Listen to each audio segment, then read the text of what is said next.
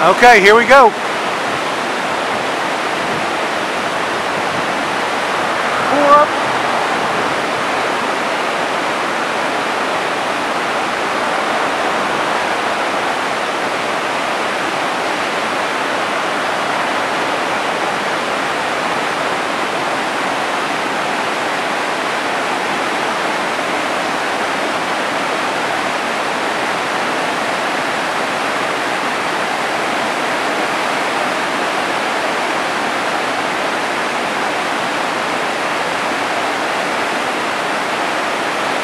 Hard to see from that angle he's at.